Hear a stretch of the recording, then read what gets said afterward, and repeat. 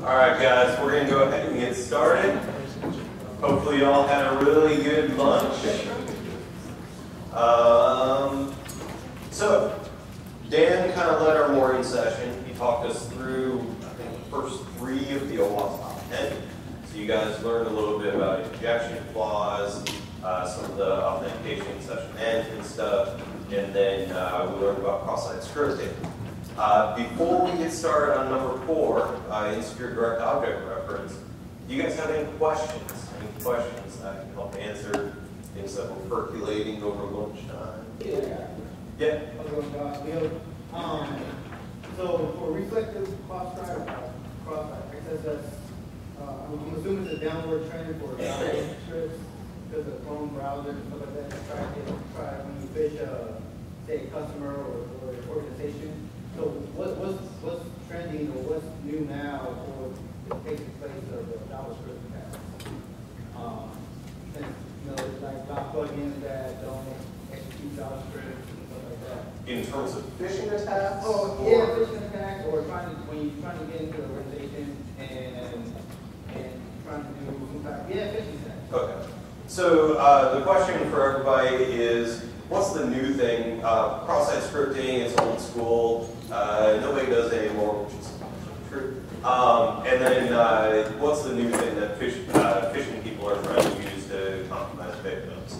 Um, so reflect cross-site scripting still is very much an issue. Um, the thing with reflected cross-site scripting is you're limiting the trust the user has in the website. So if I have reflected cross-site scripting on www.ni.com, people trust ni.com and they trust us to deliver content. And you know, cross-site scripting spans SSL certificates, so might even be HTTPS, and have a little lock and all that stuff. Um, reflected cross-site scripting is just a way for an attacker to get their code into your web page, right? It's a delivery mechanism. And as we'll see later on, um, there are additional attacks like cross-site request forgery, which can be uh, also exploited as a result of having cross-site scripting. So it's kind of a gateway into additional types of attacks. That said, um, you know, my team runs security for national instruments, and one of the, the kinds of things that we're seeing a lot today, we don't see a lot of cross-site scripting, but that might just be because it's a user-side attack, right? So you might see a reflected cross-site scripting if you were looking at your logs and you're monitoring all the, the uh, parameters that are going through there. If you're running a web application firewall, you know, there's a lot of things that have to happen from a monitoring standpoint to even see that cross-site scripting is happening. Um, whereas uh, typical phishing attacks that we do see are usually leveraging things like, hey, here's this file, and you should open this because it contains a version, right? And that's a um, Java, uh, like a Adobe PDF file that's JavaScript embedded in it. Um, we'll see that kind of stuff. Or it might just be a, uh, HTML file, and that HTML file, when they open it, it's like, log in here to access, you know, this file via O365 or something like that. And so we'll enter the username and password to submit, and that goes off to the attacker somewhere. So we're actually, uh, in our case, we're seeing kind of a dumbing down of some of these attacks, where it's like, hey, let's try to figure out the most simple way to get at people. And it's almost like low-hanging fruit, right? You don't expect somebody like me to fall for, you know, open this HTML file and enter your username and password, but there's lots of people out there who just don't know enough about security, and they will double-click that, they will enter their credentials. So I think that we're seeing a lot of almost simplification in the attack space, especially when phishing is concerned. Um, and I think a lot of that is in response to things like um, Wire like Proofpoint. You've got all these big technologies where they'll sandbox things, look for that kind of activity. Um, they'll scan URLs to see is there something malicious on the site that's going to. Um, and so the attackers are having to figure out, you know, what, how do I bypass these things? And the answer is, well, if I just include an HTML page, like, you know, there's nothing wrong with that. That happens all the time. Um, and so those are the kind of things that we're seeing kind of bypass. Makes sense? Okay, other questions? Cool. All right, so we're going to talk about insecure direct object reference. Oh, uh, real quick, how many of you guys are actually attending the conference after this? All right, so pay close attention to this. Um, I do, every year I do what's called the LASCON badge game. And so on the back side of your badge, you'll see like a code and whatnot. If you can figure out that code, there's about a five stage uh, game, if you will. And the game leverages a, a few different types of attacks, um, leverages just some cryptography stuff. Um, and at the end of it, uh, if you guys can complete the competition, you get one of these. This is an official LASCON 2017 challenge coin. And uh, if you spend the time, you get rewarded with one of these bad puppies. So um, if you're attending the conference, hopefully you get a chance to participate in the game. If you're struggling, let me know. Um, but pay close attention to this next section because it might uh, have something to do with the game. All right, so what is this guy? This occurs when a developer exposes a reference to an internal implementation object, like a file, a directory, or a database key. And they don't perform an access control check, and they don't perform any other sort of protection. And as a result of that, the attackers can manipulate references to access other bits of data. The impact here is going to be moderate because these flaws can compromise all the data that can be referenced by the parameter. So for example, you have a uh, file equals and then some web page parameter. And as a result of that, you're loading that content into the page of the website.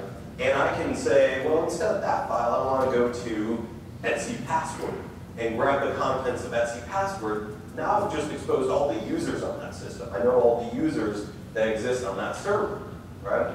So the idea is based on what the content is, based on what this parameter is exposing, we can get additional data from the system. Um, unless object references are unpredictable, it's pretty easy for an attacker to access all this data at that time.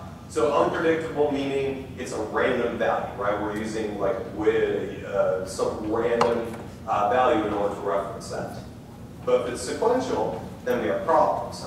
And so when we're trying to consider the impact to our actual application, we want to look at the exposed data as well as the impact to exposure. So is this just an internal site? Is it a publicly available site? What data is being exposed? Those kind of things. So here's an example. In the first case, we have a valid use case of this application. We have a database. That database has a list of keys. And we have a view statement.aspx, so it's an ASP application. And we're passing in a statement ID parameter. And in this case, that statement ID parameter is parameter 3. Now, we can see that this particular user has access to statements 1 through 12. And I guess in this case, 1 through 12 is like associated with his user ID. User ID has access to those statements. And so when he says, I want to view statement 3, the application says, all right, cool, here's statement 3. But the application doesn't perform any sort of check to make sure that he's uh, authorized to access these statements. And so it's just a matter of the application is representing, here's the things that you can see, not necessarily the things that you have access to. And the result of this is an attacker who may or may not have access to this stuff. Like in this case, he has access to 1 through 12 as well. He says, all right, well, what happens if I get statement 17? And all of a sudden, the database comes back with, here's statement 17, right? And he said, well, I only had access to 1 through 12. So because we know that these are sequential numbers, we can provide in a different value, and we can get back the data for that particular value. Make sense? Cool. So how do we test applications for this?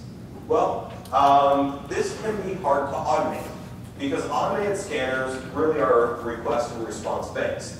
Feed some data in, get the response back, and if the response is something that is weird, then you know that that's a problem. But if in this case I'm feeding in a file name or a ID parameter, I don't know what that response should look like. So how does a scanning tool know the difference between statement ID 3 and statement ID 17? The answer is it doesn't, right? So we need to test this manually. And the way that we test this man manually is we look at the parameters that are being passed to our application, and then we manipulate them. We feed in random bits of data, or maybe sequential numbers that are outside the order that we're seeing, things like that. And we look at the pages whose only purpose is to display information about a single object. So some common examples here are going to be things like documents, or accounts, or statements, things where if I pass in a particular value, I expect to get one of those things back. In terms of automating this exploitation, it's actually really easy, because if it's a sequential number, then all I have to do is write a quick script that says, start with this number, iterate through each of these uh, numbers up to whatever value, and tell me whether it's successful or not. So as an attacker, I might write something like this. This basically says, keep looping forever. Start with a value of zero, so we're getting server script uh, t equals zero, and then test that. And then increment i, so i becomes one, and then do it again. And then increment i, so it's two, and then do it again. So very quickly, we can iterate through a lot of different values. We're basically limited by how fast our computers make these requests and how fast the server is at responding to those requests. And if that server has no rate limitation on it and it's not doing anything to control if, am I supposed to have access to these values or not, you can actually iterate through these things very, very quickly. Um, inside of WebGoat, so Dan showed you guys a little bit of WebGoat earlier, and I mentioned that's something that I use when I'm training developers. Um, there's a access control flaws, and there's something called bypass a path-based access control scheme. It's a really good exercise here to help you with this particular issue because it shows you how you can specify different things in order to get around these access control mechanisms where it's only based on the path to mitigate against this, you don't want to expose internal keys or identifiers. That's going to be the first thing. Because if you expose those internal keys or identifiers, then somebody on the outside knows what you're doing on the inside, right? You want to use object references that are challenging to guess. And that's why I mentioned earlier using a GUID. Because a GUID is a random value. It's not a sequential value. And so by referencing something as a random value, there's no way for you to write that script that I showed you guys. There's no way to just iterate through different values unless if you're truly iterating through all the possible values. And that's just brute forcing, right? You're just going through some really, really long number, hoping that you might land on something that's valuable. Probably not going to happen. The real solution for this, though, is to perform server-side authorization checks when somebody accesses an object. So in this case, with that the statement ID equals, right? We want to say this particular user has access to these particular objects. So that user should only have access to object 1 through 12. And if somebody comes and says, I want access to statement 17, it should say, no, you're not authorized for statement 17. You have access to 1 through 12. And when they go and they say, no, no, I want statement 17 again, you say, no, you only get 1 through 12, right? So that's how we control the access here and how we make sure that users aren't able to access those things. Questions about that? All right. So the recap here is that insecure direct object references occur when an application exposes those internal references to objects via the parameters that are passed to our application. And by manipulating those, those parameters, we're able to get data that we're not authorized to access. And to prevent this, we don't expose internal keys or identifiers for objects. We use references that are challenging to guess, like those GUIDs, those random values. And we perform our server-side authorization to make sure that those users are capable of accessing those particular objects. Cool. All right. So lots of references here. Um, the OWASP Top 10 has a section on insecure direct object references. Uh, and I don't think Dave mentioned this, but OWASP has the OWASP Top 10, which is effectively that high-level guidance. And then OWASP also has what's called cheat. And cheat sheets are great ways for you guys to learn things really, really quickly. So if you look at an OWASP cheat sheet, it's going to tell you what the problem is, and it's going to give you an example of that problem, so you're going to see how it works, maybe some code as to how that particular thing might function. And then it's going to tell you, here's all the things that you need to do to fix it.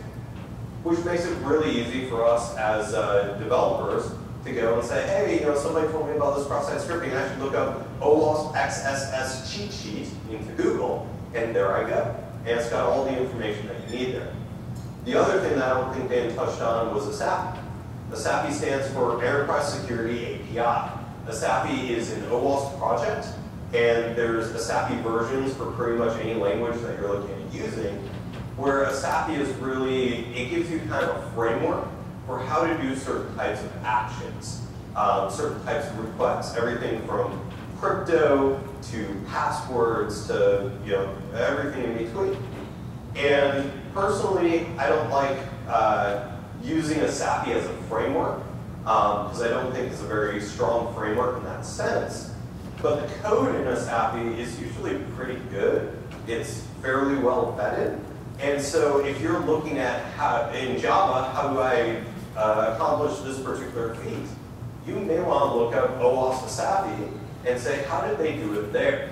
And use that as an example when you're building your application to build it. All right, so moving on. Next one in our top 10 is security misconfiguration. Um, and what you're going to find here is that the first couple, first two, three things um, that we talked about in the OWASP top 10, we spent a lot of time on those two, like all morning, right, on like two things plus the, the security basics. These last ones fly pretty quickly. So security misconfiguration is good security requires having a secure configuration defined and deployed for our application, for our frameworks, for our servers, for our web servers, our database, our entire platform. Right? And security settings should be defined, implemented, and maintained because the defaults are often insecure. And frankly, in a lot of cases, that's intentional. Um, I mentioned earlier that I, I, wrote an application called SimpleRisk. And the default username for SimpleRisk is admin, and the default password for SimpleRisk is admin. And it might as well be changed, right? Because it, it's intentionally set to something insecure. Because I expect whoever's using the application to go and say, okay, well, admin's not a good password, especially when username's admin, and I should go ahead and change that. And if you didn't, this is what you got. The other piece here is software needs to be kept up to date. Because old versions of software tend to have uh, bugs, which is usually why people update it, but it also has security vulnerabilities. And so you take uh, Equifax. You guys hear about Equifax, largest PII data breach in history, right? Um, the problem with Equifax was a struts vulnerability. And for those who don't know, Apache Struts, very common web framework, lots of uh, applications use it. In fact, National Instruments had Apache Struts, actually the vulnerable version, on our website several months leading uh, before the Equifax breach. And my team detected it out there, and we went and we talked to the developers who were responsible for that particular application. We said, hey, we know about this particular vulnerability. This is a big deal. We should get patched. And they said, ah, I don't know, it doesn't really mesh with our release cycle. I said, no, no, like, this is a big deal. You guys should patch this. They said, well, you know, we'll have to talk about it. No, no, no. And lesson for all you security people in the room. Don't be chicken little, right? If every single issue that you come across is the sky is falling, then the sky is always falling and they're never going to believe you, right? If you save that cred for the rainy day, in this case, you know, we looked at struts, the exposure and everything, and we said, this is our rainy day, right? I, I, that's when you want to use that. And so that was the point where I said, look, I think once before, in the 10 years that I've worked at National Instruments, I've said, this is a really big deal, we have to do this now. That this is the time, right? We need to fix this guy. And eventually we got the, the people moving in the right direction, and we got it fixed. And then, a couple months later, that's when the Equifax hits. Apache struts, old version of software, they didn't update it as part of their release cycle, and it resulted in one of the largest breaches in history, right? I think it's uh, over half of all Americans' data were part of that data breach. So it's very, very important for us to make sure that we're looking for these vulnerabilities, that we are keeping track of the software versions that we have out there, we're cataloging that information, and as software gets updated, we need to make sure that we're patching. Impact here, moderate. Um, the system could be completely compromised without you knowing it. All your data could be stolen or modified slowly over time. Recovery costs could be expensive. And after the Equifax breach, I might even say this is more than a moderate impact, right? I mean, this is high. This is very high for Equifax. Although if Target and TJ Maxx and all these other breaches show us anything, Equifax isn't going out of business, right? Um, I think the, the claim is, well, your data was pretty much public anyway. Yeah, I know. um, so for them, you know, business goes on mostly as usual, right? They'll, they'll send you a letter in the mail saying, you know, we'll give you free credit monitoring, or in their, their case it was like a random generator, like enter your information, it randomly said, like, yes, you were affected, and they weren't. Um, yeah. We, we could do a whole class on like uh, what not to do with a data breach, um, and just use Equifax as the example. Um, but yeah, recovery costs here can be really expensive, so it's a big deal. We want to make sure that we're keeping that software up to date, especially if there's a public exposure. So am I vulnerable? Um, so what we want to do is we want to make sure our application uh, is, we, we have a secure hardening process, right? And it, for our entire staff, that means our web servers, our database servers, everything, we want to ask ourselves, is our software updated? Which means we have to know what version we have across the board. And we have to be monitoring, is there a new version out? The next thing we ask ourselves is, are any unnecessary features enabled or installed? So not so much anymore. Back in the day, you used to spin up a Linux system, a Unix system. What was enabled by default for system administration? Port 23, Yeah. Clear text, send your username and password. Don't worry about those guys sniffing it over the network, right? Um, so those are the kind of things that we want to look out for. Are there things that are installed by default that we don't need? Are there scripts that are being put out there by default? Um, Apache used to install a bunch of CGI value, uh, CGI scripts by default. So we want to look for those kind of things. Um, look at the error handling and say, does our error handling reveal stack traces or other information that users probably should see? You know, maybe it has information about the architectures we're using, the paths we're using. Um, maybe there's other information about users or things like that. These are all things we'll talk about later in the information disclosure piece. These are all things that give an attacker additional uh, information that they could use to attack your company. And then the last one here is our security settings in your development framework and libraries not set to secure values. It's interesting that calls out Struts there, right? This presentation is like, I think Dan and I, this is our fourth time doing it, so it's like at least five years old, probably longer than that. In any case, without a concerted, repeatable application security configuration process, your systems are at higher risk. So let's look at some examples here. Not examples. I should add them into this step, though. A good example. Um, so the first example here is you have a application server administration console. It's automatically installed. It's not removed. And the default accounts are changed. So an attacker could go, it could discover the standard administration pages are on the server, they log in with those default credentials and they take over. And a lot of people don't realize, but there's websites like defaultpassword.us where you can just say, hey, what's the default password for this particular application? It says, here you go. Right? In fact, I, I was talking with Dan a few years ago. Um, I was talking about um, Denim Group had an application called ThreadFix. And it's telling me, oh yeah, he's like, I submitted the ThreadFix default admin, you know, default administrator password into there because I don't want people using it, right? I want it to be like, you know, don't use this password. So second scenario, you don't have directory uh, listing enabled on your server. An attacker discovers that they can just list directories to find named files that are in there. They find and download all of your compiled Java classes. They then decompile them, reverse engineer them, and they now see your custom code.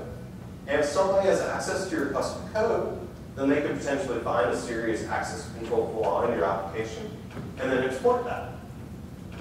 And there's a, uh, again, on the badge challenge, there's something kind of like that. Uh, third scenario, your application server configuration allows stack traces to be returned to users. Uh, this can potentially expose underlying flaws, and attackers love the extra information that these messages provide. In this case, there's a null reference exception, and it's very difficult to see on there, but there's uh, information about the framework, there's some information about path, things like that that are on there. Another scenario, uh, your application server comes with sample applications that are removed from the production server. Those sample applications have well-known security flaws, and the attackers use them to compromise your server. Now this one is interesting because if you do patching, you might not catch this, right? If there's scripts and things like that, they're like sample things that get installed by default, just patching your application might not fix coding vulnerabilities in those scripts. And so it's important for us to recognize this application got installed and it needs to be uninstalled because that's part of our default. Because just upgrading our application might not fix that. Yeah? Sometimes they just reinstall and you patch the application. Yeah, it's true. Um, so what he was saying is that sometimes when you install the patch, it's almost like a full application you install on top of the application, and those things will be put back. So it's good to have kind of a validation of, you know, is everything in the right place? Have I not installed additional things? And these are tests that we should be doing on an ongoing basis, probably every time we change something in our application, have those types of validation. So how do I prevent security misconfiguration? Well, the primary recommendations are to do all the following. First, we need a repeatable hardening process that makes it fast and easy to deploy another environment that's properly locked down. And so in this case, we should have development, we should have QA, and production, and they should all be configured identically, which means that when we're testing on this environment, and we're doing our QA and things like that, we have identical environments. And that process should be automated to minimize the efforts that are required to set up a new secure environment. So one of the things that we do at NI is we check those environmental configurations into effectively a version control system. And then once they're checked into the versioning system, you basically say this environment pulls from here, it grabs all this, it sets all this stuff up, this is the dev environment, this is the QA, this is the production, and all the data is there. And so if you make a change, you make a change to the versioning control system, and then you push that out live to production. If you guys want to learn, uh, for those of you who are attending the conference, I'm going to be giving a talk, I think it's 10 a.m. on Friday, um, where I'm going to talk about cloud security. And this is one of the examples that I talk about in terms of the cloud security architecture that we use with Simple Risk, in terms of how do we manage this? How do we do this type of automation and ensure that our environments look the same? Number two, we need a process for keeping abreast of and deploying new software updates and patches in a timely manner to each of our environments. And that includes all code libraries as well. It was interesting, I was doing a, a uh, architecture review one time for one of our teams at NI, and at the time they were looking at introducing a new, um, basically, uh, development framework uh, into uh, the company, um, Google Web Toolkit. And they had this you know, presentation, and they had this wireframe uh, application, and they were talking about how great GWT was and how easy it was to create all this stuff. And they were looking for our architecture team's uh, blessing to basically start writing crap in GWT. And the question I asked these guys was, all right, now that's cool, it's got a lot of function, features, whatnot. Seems like you guys are able to get up and running pretty quickly. Who's responsible for supporting that? I said, well, what do you mean? I said, well, you're introducing a new architecture, right? We've got this GWT thing that nobody was using before. Who's tracking the version that's installed in production? Who's going to make sure that when GWT comes out with a new version, that's being upgraded in production, in dev, in test, right? And I took that a step further and I said, all right, what versions, what version are you guys using right now? Whatever version they told me, I went and I looked up on the, the GWT website. I was like, that's two versions ago. And there were two cross-site scripting uh, vulnerabilities, and there's this vulnerability and this vulnerability, all addressed since then. Cameron went, all right, well, I guess we have to find somebody to own that. We have to make sure that somebody's actually tracking that we're using GWT, and then get out the mailing list so that we're getting all these updates about every time GWT comes out with a new version, and then looking at, actually looking at the updates, to make sure that it's not just function that's coming across, but also security vulnerabilities. And if it's security vulnerability, we have to determine, is this something that affects us? How bad is it? Are we using that functionality? Is this app being publicly exposed? Right? And then taking that information and deciding what do we do with this. Is it something where we need to patch today? Because it's a Struts vulnerability and Equifax is going to lose a lot of uh, data. Or is it something that we can wait on? And maybe it's an internal only application. Not a big deal. Third one, a strong application architecture that provides uh, effective, secure separation between components. So we talked about dev, a test, and production environment.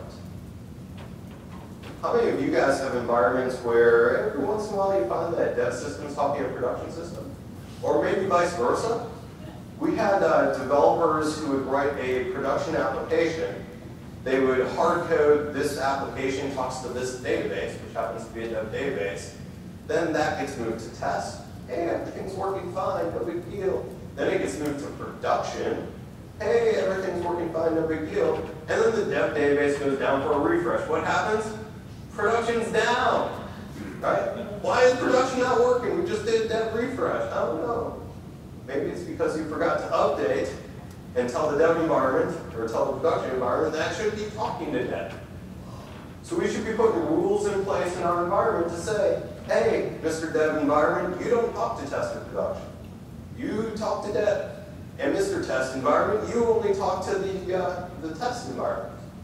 And production, we'll say this is production environment, you only talk to the, the production servers, right? So separation in place. Fourth one here, last one. Consider running scans and doing audits periodically to help detect future misconfigurations or missing patches. And this is where, in that struts case, we were winning, right? And if you listen to the Equifax CEO in front of Congress, where they were losing. The Equifax CEO blamed it all on one person and said it was that one person's job to do vulnerability scanning across our entire environment. And that one person should have told us that that was a vulnerability and should have made everybody else who's responsible for, for fixing that fix it. How many of you guys think it was really one person? yeah, right? So this is something that the security team needs to work with the development team, needs to work with the business. You need to know models out there. You need to be running scans on a continuous basis. And you need to have a process in place for how do we address these? And how do we rate these? And how do we make sure that the right people are being prioritized to work on these things? Questions? Okay, all right. So the recap here is an attacker accesses default accounts, unused pages, unpatched flaws, unprotected files and directories, and they gain unauthorized access to or knowledge of the system. We've got multiple levels of the application stack that can potentially be affected, everything from the web server, the app server, custom code, whatever. And to prevent it, we need a repeatable hardening process. Check our configurations into GitHub, documentation, Check checklist, whatever. We need identical configurations about dev, QA, and production. We need an automated secure build process so that we ensure that they're identical. We need a process for tracking software updates, including code libraries that our stuff is built on top of. We need a strong application architecture, and we need periodic scans. We need audits to make sure that we're not missing anything. Interesting, uh, I'll give you guys another little side note here. Um, we had a, a, a uh, group uh, at NI that was like, these systems don't need automated patching, right? And the idea with that is somebody else is responsible for patching, but it has to happen like, it can't just be automated driven by IT. It has to like go along with a release or something like that. What happens when nobody realizes they're responsible for patching that system? Systems never get patched, right? So if you're going to do something like that, You're going to create exceptions to your process. Make sure those are documented. Make sure that you have an owner for that process. And then make sure that you're reviewing those things on a regular basis. So this is a risk that's going into SimpleRisk after this conference, and it's going to say um, that we have uh, systems that are basically in this uh, no patching group that aren't being managed. Right? And then we make sure that that's being reviewed on a regular basis make sure that those systems are still belong there or don't. All right. So number six, sensitive data exposure. This, uh, so a lot of web applications don't properly protect sensitive data. Sensitive data includes credit cards, tax identifiers, uh, bank account numbers, PII, uh, authentication credentials, all these different things. And attackers could potentially steal or modify those weakly protected uh, data to conduct credit card fraud, to conduct identity theft, or other types of crimes. And because of this, our sensitive data deserves extra protection, like encryption at rest, encryption in transit, HTTPS, as well as uh, special precautions when exchanged with browser. And the impact here is severe, because if we don't protect our data, then it could be compromised. And if our data is compromised, we can't ensure the confidentiality or the integrity of that data. So typically this information includes health records, uh, credentials, username password, uh, personal data, those credit cards, whatnot. And so we need to consider the business value of that lost data and the impact to our reputation. Uh, in this case, you know, Equifax is seeing a, a pretty good skewering um, with respect to what happened, but they'll survive. Yeah. Right, impact. We also have regulatory and legal issues here. And I mentioned early on when we first started, it feels like you know years ago. Um, it was really just this morning. Things like HIPAA. If you're not properly protecting health information and you have it in your environment, that's a big deal. And they can actually go and say, you're no longer able to, to be a healthcare provider. They can have severe fines if you're not properly protecting that data. California SB 1386 says that if you lose the data from somebody who's a California resident, then you have to notify them of that. And you have to basically offer them services to protect them against identity. And that's actually becoming a more common law. There's other states that have started adopting that as well. And I would think that that's probably going to be a national law here very soon. Um, PCI is credit cards. And says if you're not properly protecting credit card data, then you can be fined, or they can take away your right to process credit cards. These are big deals, right? So how do we know if we're vulnerable? The first thing you have to determine is which data is sensitive enough to require extra protection. So as an example, passwords, credit card numbers, health records, personal information, those are all probably things that should be protected. And for every type of data that we identify as something that's sensitive or confidential, we do the following. First, is any of this data stored in clear text long term? And then include backups. We want to make sure that that data, if it's considered to be sensitive, that's being stored in an encrypted format. Second, is any of this data transmitted in clear text, internally or externally? And internet traffic is going to be especially dangerous because if I'm talking to a website and I'm doing it from Starbucks and it's not encrypted, then users are able to sniff that data. Um, there's a great, uh, I think I have an example here, but I'll spoil it for you guys. Um, there was a great program uh, five years ago. It's called Firesheep. It was basically a Firefox plugin. Load it into your browser, and you'd sit on a Wi-Fi network like Starbucks or something like that, and you'd just kick back, drinking your latte. And what would happen is, as users on the network were logging into Facebook and Twitter and things like that, Firesheep would go and it would grab the credentials off the network. Because at the time, they were uh, not transmitting data in uh, encrypted text. It was all clear text. It was HTTP. And so Firesheep just grabbed that information off the network. And took it a step further, and was like, here's the cookie for this user. Would you like to log in? And you could basically just click the login button, and now you're logged in as that user sitting in uh, Starbucks.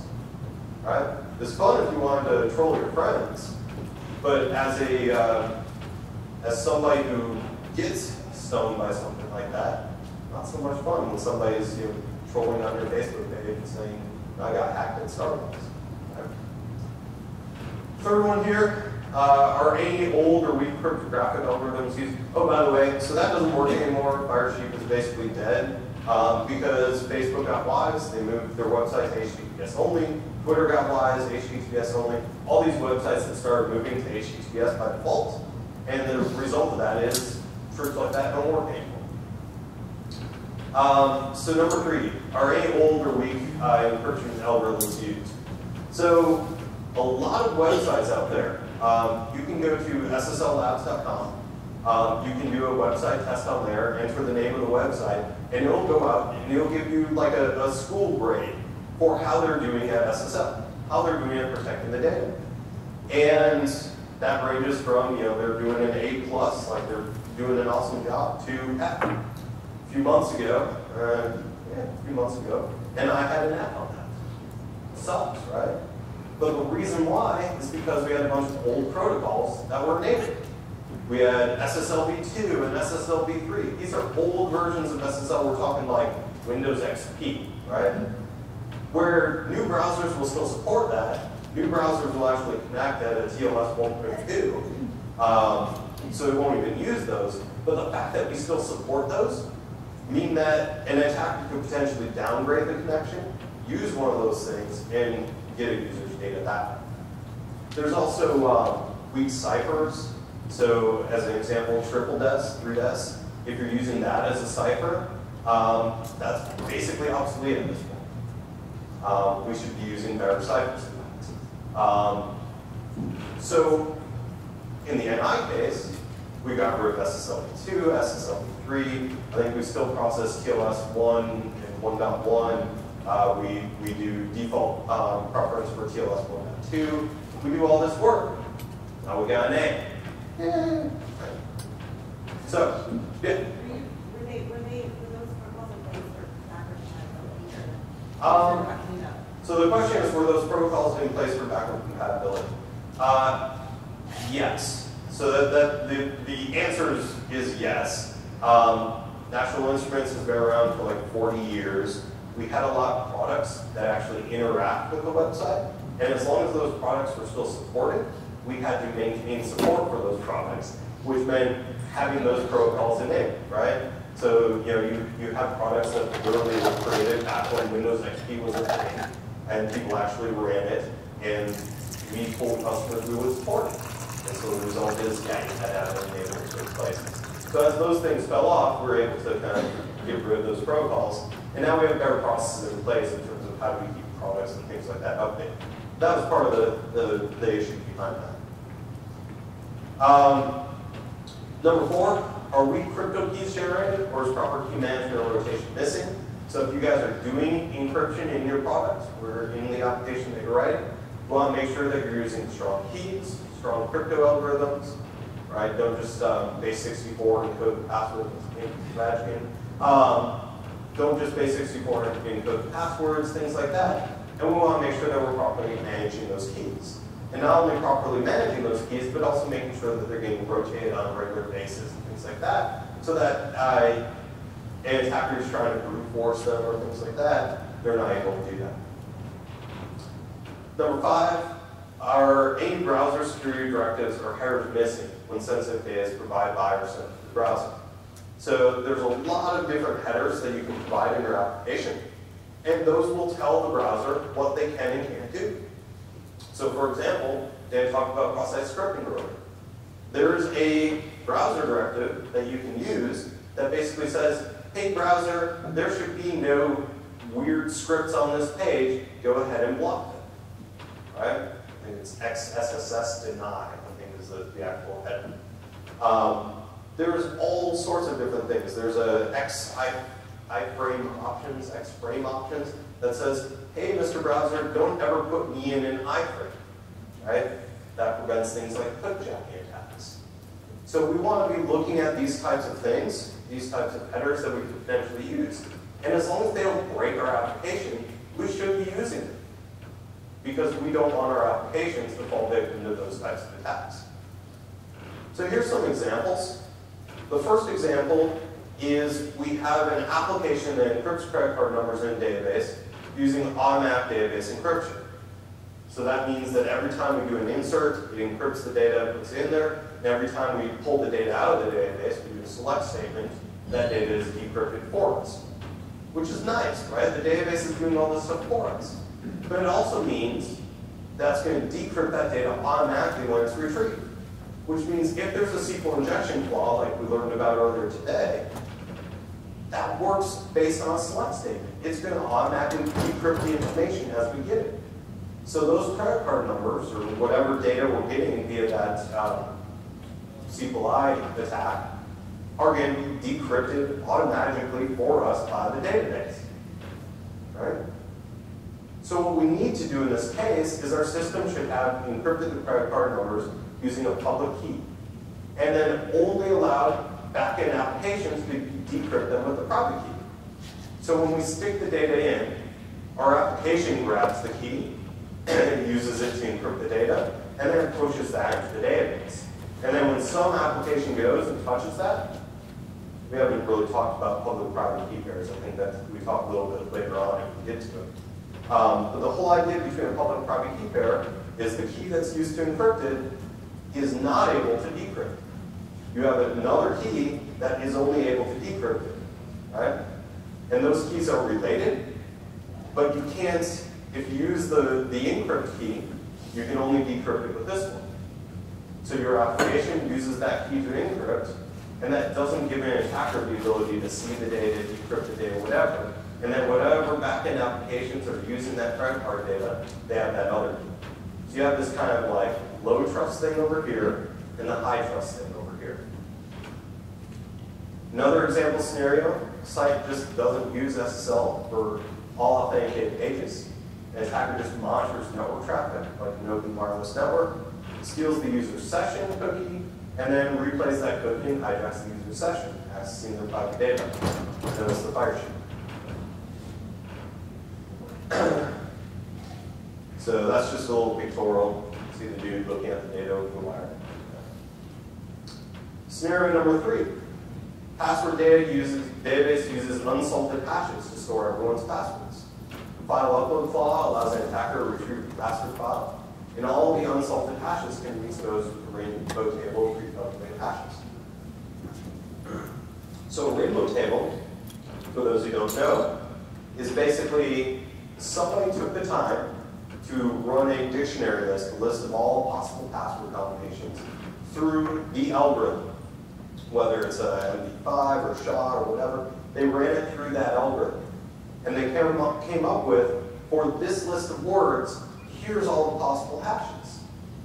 And what that means is if you do something like this, if you're able to get the password file, the list of all the hashes, you just take that, look that up in the table here, and say, ah, that hash belongs to this password. It's like going backwards, right? So the way that we protect against this is using what's called a salt. And a salt is a random value that's stored in the database alongside that user. And when we store a user's password in the database, we're hashing it. We're not storing the actual password. But we're going to hash it along with that salt. So it might look like take the password value, colon, append the salt to it, then hash that value, and then that's the value that you store in the database. And what that means is if somebody grabs that uh, list of passwords or that list of, um, of hashes, they don't, they aren't able to just take that, run it through the dictionary list, and come back with here's the here's the right one. Right? They would have to know that password plus the salt combination in order to get to that, and that would require a lot of extra work. Uh, they basically have to recalculate that um, that hash table or that rainbow table for every single salt that's in that database. It's a lot more complicated.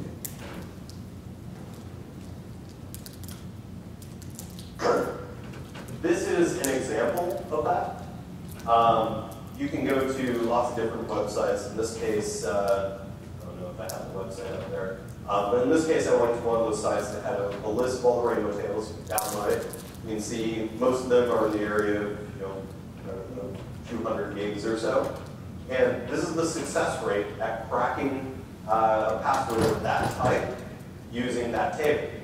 So in this case, if you have MD5 hashes, which is still pretty common, although MD5 is supposed to be phased out in favor of SHA-2 at this point, um, and you have alpha space and the numbers 1 through 9, that's about 24 gig. Or I'm sorry, 1, one to 9 digits. Um, so that's all you have, it's a 24 gig file, and you basically have 100% success rate with that file.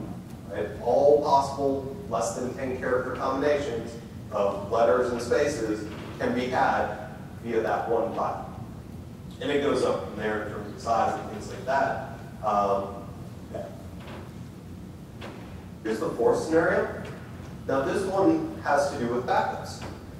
And we said early on that sensitive data exposure also has to do with backups. Because if you take, let's say, a, a database backup, we back up all of our credit cards and we stick them on backup tape, and then we put that tape outside and the Iron Mountain comes and grabs those tapes, whatever. If somebody were to grab those backup tapes and walk off with them, and they're not encrypted, they now have access to all the data. And this has actually happened over and over again um, with laptops that are left in taxi cabs. It's happened with um, uh, multiple universities where they had student information on uh, backup tapes that went missing and things like that. So make sure if you have sensitive data, not only are you encrypting it on the storage side, and not only are you encrypting it in transit, but you're also considering the other media that are on top. Be it a, another user's hard drive, if they're doing something like that, or backup tapes, or whatever, flash drives, that thing. Make sense? All right. Um, really good exercise using WebGoat in, uh, in secure communication. So, how do we prevent sensitive data exposure? For all of our sensitive data, we want to do the following. First, consider the threats that you plan to protect the data from. Is this an insider attack that we're from? Is it an external user? And we want to make sure that we encrypt all sensitive data at rest in transit in a manner that defends against those threats. So if it's insider, and this is, uh, I think this is pretty common in all uh, corporations, large and small, really. How many of you guys are using self-signed SSL certificates? Nobody? Got a couple, right? A couple honest people, anyways. Um, a lot of companies are using self-signed certificates. And the result of that is users usually have to click accept in order to accept that certificate. It's not automatically stuck into the browser or stuck into their system with a domain policy. And if users are used to just clicking accept, clicking proceed, whatever, to something that's not secure, the end result of that is that they'll probably click accept if there's a man in the middle who uh, basically uses their own self-signed uh, certificate User clicks accept, and now they see all the data that's there. So, the solution for that is we use uh, CA signed SSL certificates. And by using a CA signed SSL certificate, there's an actual chain of approval, there's a chain of trust in that certificate chain. And that ensures that the user, when they go, they see the lock, you know, nice green bar, whatever, to indicate that they are being secure, that the data is secure. Next, don't store sensitive data unnecessarily. PCI actually says, don't ever, ever, ever store the CVV code for this very reason. Most organizations will never need it. You may need the credit card number in order to do chargebacks and things like that, but you don't really need the CVV code. So as soon as you've processed that transaction, as soon as you've done what you need to do with that information, delete it. Data that you don't have in your environment is data that can't be stolen. All right?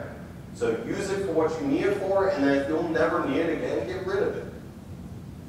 Same goes for credit card numbers. Oftentimes what people do, they'll take that credit card, they'll charge it, they'll stick in a database thinking, yeah, maybe we might have to refund it or whatever later on, and then they never purge it from the database. And PCI actually says that you have to be purging those data, the data from the database on a regular basis for this very reason. You minimize the effect of a data breach if you get rid of that data. Number three, ensure strong standard algorithms, strong keys are used, and proper key management is in place.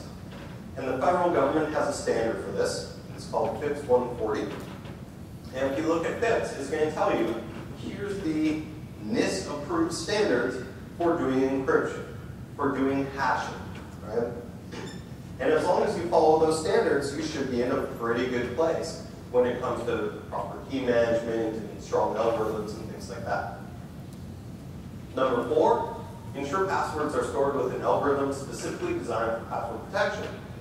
So I mentioned earlier um, uh, base64 encoding of password.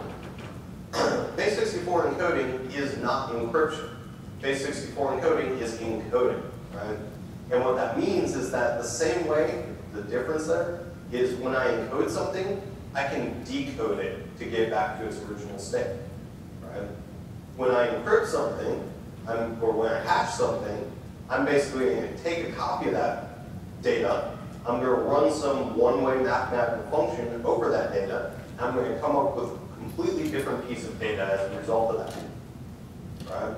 So as a result of that, if I store that, I can validate against that, I can never use that value again. Whereas if I encode something, I can use that value again because it's a two-way function. So bcrypt, PBKDF2, scrypt, these are all common routines for doing user authentication.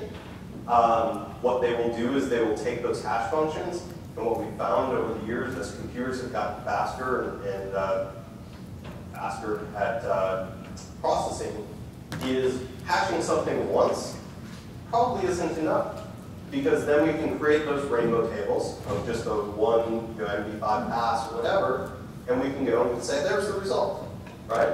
And if it's twice, it's still pretty easy to go through and hash it twice and then come up with that value. So what these things, bcrypt, scrypt, whatnot, are doing is they're actually doing hashing multiple, multiple times. And by hashing it multiple times, you're basically able to say, this particular thing probably is not going to be able to go in a rainbow table because in addition to using our random salt value, we're also doing this multiple hashing, which makes computing that incredibly intensive. Last one here, disable autocomplete on forms um, that collect sensitive data and disable caching for pages that contain sensitive data. The reason being is there's lots of exploits out there that'll allow you to grab that data from caches, allow you to grab that data from um, the, the, password storage, the autocomplete features, things like that. And in order to prevent that, we just disable autocomplete. User has to enter the data in order for them to log in with that username password. Now, like anything with security, there's oftentimes a trade-off between security on one hand, usability on the other. And so we have to weigh that and determine which one we want to opt for. Some high-level safeguards here. Develop a data classification policy if you don't have one. Data classification policy is basically a policy that says, for this type of data, we consider it to be this level, and as a result of that, we either encrypt it, or we don't encrypt it, or we keep data you know, stored in a certain place, or whatever. We review the information stored in an application against that data classification policy, and that's what helps us to determine whether or not something that should be encrypted and then we build or update our application to encrypt those fields when at rest. So here's an example data classification policy. This is one that I worked on a while back. And we basically classified it into three categories. We have low business impact, moderate, and high. And in the low business impact, these are things like publicly accessible web pages, or product releases, brochures, white papers. These are things that are meant to be public. If it's meant to be public, it doesn't need to be protected, right? And the result of that is we don't need to do any sort of encryption on that. However, if it's high business impact, these are things like social security numbers, passport numbers, uh, credit card numbers, things like that, health information. If it's one of those things, then that's something that absolutely needs to be encrypted. These, these are things that are protected by different laws, different regulations, right? These are, sensitive information. And then somewhere in the middle, we have this moderate business impact, which are things like eh, your race, your religion, your political leanings, maybe things like your name, your email address, your telephone number. and things like this may or may not be protected by law. They're probably considered sensitive, if not confidential. And so you guys need to make the decision. Probably your business needs to make the decision. Is this something that we want to protect? Meaning we encrypt that data? Or is it something that could be made public, in which case we don't need to? I think most of us would probably lean towards the sensitive, if not confidential side. And the result of that would be we probably would want to encrypt that data. Some safeguards here. So we mentioned strong encryption algorithms. Um, Triple DES is being retired, uh, so we probably shouldn't be using that. We should use AES instead. Don't use MD5 or SHA-1. In fact, if you use a SHA-1 uh, hash uh, SSL certificate today, your browser will give you a warning. And in the coming months, if you continue to use a SHA-1 SSL certificate, your browser will not, uh, it'll tell you that that SSL is insecure and you should not trust that page. That's because that's no longer good. We should all be using SHA-256 now. Use platform-provided implementations of the algorithm. Dan made the point earlier.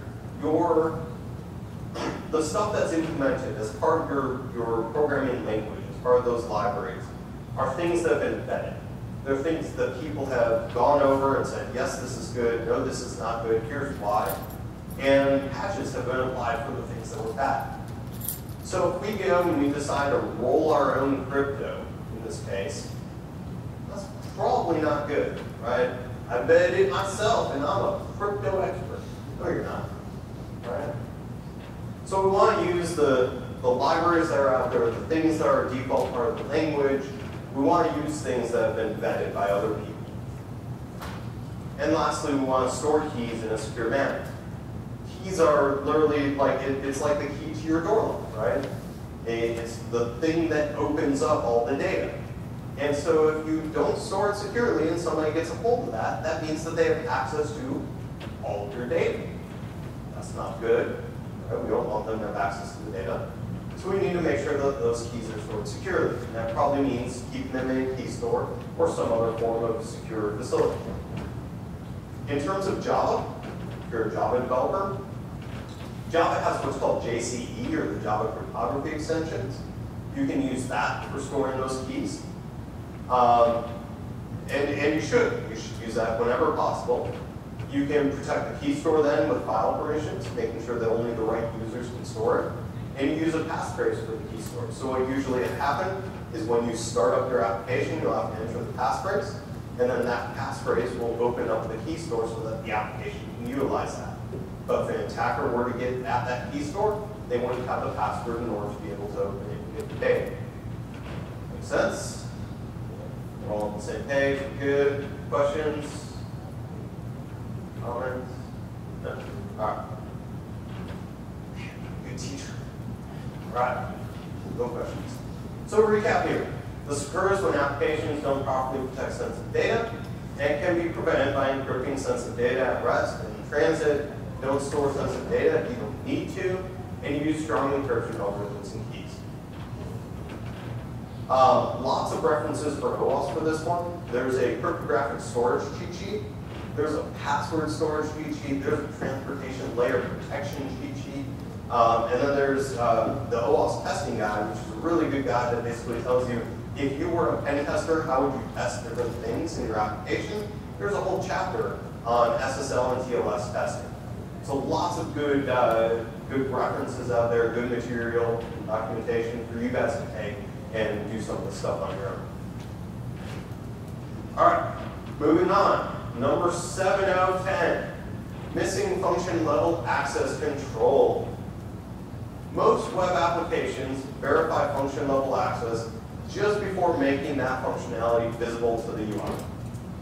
However, applications need to perform the same access control checks on the server each time the function is accessed. So if requests aren't being verified, the attacker would be able to forge requests in order to access functionality that they're not authorized to access. The impact here is going to be moderate. These flaws allow attackers to access unauthorized functionality.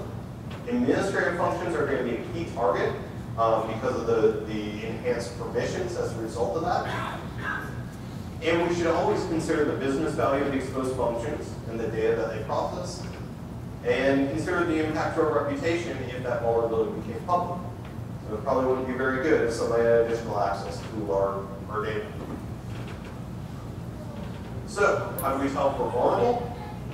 The best way to find out if an application is to properly restrict function level access is to verify every application function. And with each of those functions, we ask, does the UI show navigation to unauthorized function? So is the UI showing me that you have access to this thing that you're not supposed to have access to? Secondly, our server-side authentication or authorization is missing. What this means is sometimes we might have some JavaScript that shows or hides certain types of functionality. It's probably okay. But if we're not validated on the back end, on the server side, when that post happens, then that's not okay. Because they can bypass our authorization, bypass our little JavaScript script, and they can get at that data. And then the third thing here is our server-side checks done that solely rely on information provided by the attacker. So, as an example, I might give a user a cookie. Good user? User cookie. No. Um, a, a session cookie, right? And that session cookie might have a value like admin equals zero, and I store that in cookie. What's your first thought when I give you a cookie that says admin equals zero? Set to one. I heard somebody over here, right? Right? Because if it says admin and it's set to zero, zero makes me think false, right? And so if I set it to one, that probably means true. And if I set that value to true, and all of a sudden I'm an admin on the system, that's a bad thing, right? That's bad. So we've now created something that's under control of the user. The user can change that value, modify that value, whatever, and now they have additional privileges. So anytime we're writing an application, we need to think about, does the user have the ability to modify this? And if you're putting access controls into cookies, you're doing it wrong, right? Now, that doesn't mean that you can't use cookies and you can't use sessions to do this kind of thing. You just need to make sure that you make it a session value that's being accessed by the code, not a cookie value that's accessible by the user, right? So the session provides the authentication and the authorization. We check uh, in the session that they're supposed to do the things that they're supposed to do. We don't use the cookies to track the values.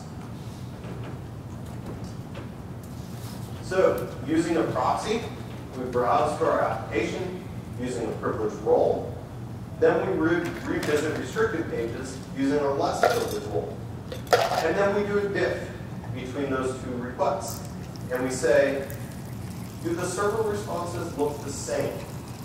And if the diff between them says there's no difference, I saw the same thing logged in as an admin as a non-admin, you got a problem, right? The data should be different. And you can also check the access control implementation in the code.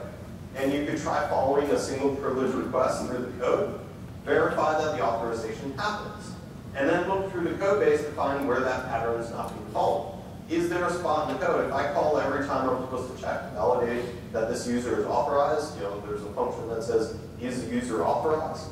And then I find some other place over here where I call the code and that doesn't exist, then that can be a problem. Now, just like the other one, our tools, our automated scanning tools, are probably not likely to find these issues.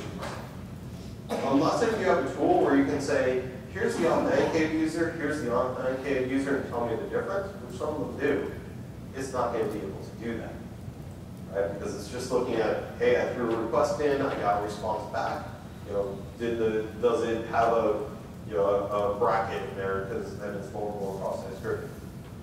So, so here's an example.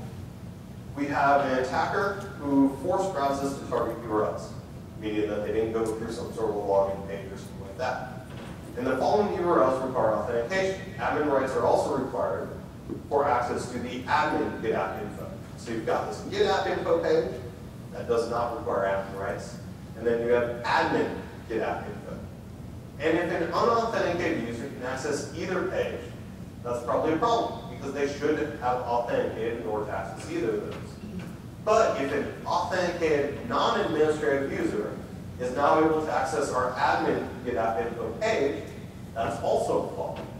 Because that user, while authenticated to the application, does not have admin rights to be able to access the admin. And that might lead the attacker to more improperly protected admin pages. They can find additional data as a result of that, change data in the application, things like that. Another example. So a page provides an action parameter. In using that action parameter, you specify the function that's being invoked. So action equals write, or action equals, you know, call this thing, whatever. Different actions require different roles. However, if our application doesn't enforce those roles, that would be a flaw. Right? We want to make sure that somebody's calling, you know, write to log versus write to admin log, the admin log is being checked and saying, hey, are you an admin? Do You have the access to this particular thing. So how do we prevent this? Your application needs a consistent and easy to analyze authorization model. Something that's involved in all of the business functions of your application. So first, think about the process for managing entitlements and ensure that you can update it relatively easily. Don't hard code these things. Secondly, the enforcement mechanisms should deny all access by default and require explicit grants to specific roles for access to every function. We see this a lot on like firewall rules as an example. It starts with the default deny. So assume that this application, that this server, this whatever, cannot do anything. And then go to the next line and say, this is what it can do, right? And if we start everything with the assumption that it can't do anything, then we have to explicitly define what it can do. We start from a much more secure place, right? It's that least privilege concept that Dan talked about earlier. And if that function is involved in some sort of a workflow, we need to check to make sure that the conditions are in a proper state to allow access. Um, I was talking with a, a, friend who used to be a security manager over at Dell. And at one point he relayed to, the, to me the story about when he first started at Dell, how one of the things he asked was, hey, I want a report of every laptop we've ever sold for less than a dollar. Right? And the end result of that is they said, why do you need this? Like, we don't sell laptops for less than a dollar. What are you talking about? well, sure enough, we got the report back, and there's thousands of laptops that are sold for less than a dollar. The result of that was there was a flaw in the application, a flaw in the workflow, where it wasn't validating the parameters that were being passed in. It wasn't making sure that those things were happening that had to happen. And so people were ending up able to check out for laptops with less than a dollar and buy their Dell laptops. Another example, there was a, a woman um, who was on Amazon early days, and she went onto the site, say she found a pair of shoes, right? And she went, and she clicked on checkout, and she entered her credit card information, and she clicked on purchase, and she had that buyer's remorse, right? She's like, oh my God, I can't spend that kind of money, you know, hundred dollars for a pair of shoes. They're probably way more expensive than that. But she clicked the close button, right? A few days later, shoes show up in the mail. She's like, oh my God, that's a lot of money. Checks her uh, her credit card statement, no charge. What does she do? She's like, all right, shoes for free. Let's try and get this purse. She goes on online, goes online, looks at the purses, you know, picks out the nice fancy, uh, what's it, Louis Vuitton purse, right? Clicks purchase, Can sell Louis Vuitton purses and everything like that. Anyway, she finds a nice purse on there, clicks on purchase, enters her credit card number, hits submit. She goes, all right, this was the point where I closed before. So she clicks the close button again. It happens. Later, package arrives, here's your brand new purse, checks the credit card statement, no charge. What does she do next? she starts ordering more stuff, right? But so not as to be suspicious or anything, she starts selling things on eBay. Why not? It's all free. So she starts going. She orders more stuff, clicks close at the right spot in the workflow, gets the thing in the mail. She starts selling this stuff on eBay, so she grabs her little uh, um, stamp, and as soon as the, the mailman hands it to her, she slaps a new label on it, hands it right back to him, and he goes off and, and ships it. And so now she's making money off this. Well, eventually, Postman gets uh, suspicious as he keeps delivering these packages, which he keeps immediately handing back to him. He reports it. There's a big investigation. She gets caught for this. And, uh, I think she paid a fine, but yeah. That part doesn't matter. What matters here is the workflow, right? If we're able to go through a workflow, and each step in the workflow doesn't verify all the previous steps, we've got a problem. If we can get to the point where we're able to make a purchase and have that item shipped to us without actually verifying that we paid our money, that is a big problem. So our applications, as part of this workflow, needs to check and make sure, have we satisfied the right conditions to get us to this point? For me to actually send this user a product, have they paid their money? Do we have the right address, right? We need to make sure we go through these steps. Java-specific safeguards. So J2EE has built-in platform authorization features, and you can configure them in the web.xml file. It also has something called JAAS. Um, is the Java Authentication Authorization Service, and it can be configured to handle some of this authorization authentication pieces. Questions? All right. So our recap here, this occurs when applications don't perform access control checks on servers when each function is accessed, and can be prevented by providing a consistent and easy analyze authorization module that's invoked from all business functions. Cool? Cool. All right. So, um, that ends that. Uh, there's OWASP top 10 on failure restricted URL access, uh, ESAPI pieces, OWASP development guide, which is another great guide, by the way. Um, OWASP development guide is basically a guide for developers. We talked about the penetration testing guide testing guide. The developer guide is, hey, you're going to write some authorization routine. Maybe you should think about these things, right? Whereas the testing guide is like, hey, if you want to test for path traversal, here's how you test. Um, so yeah, lots of good stuff there.